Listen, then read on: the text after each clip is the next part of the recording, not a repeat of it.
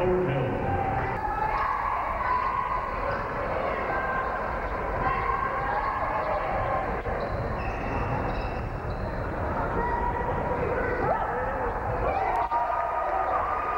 a steal. Patrick Thornhill comes up with the ball, gets around the official into the center and goes outside of Thornhill for That three. Good. Yes. That one was. First period. 8-3, Culpeper. Thornhill again for three. Hey!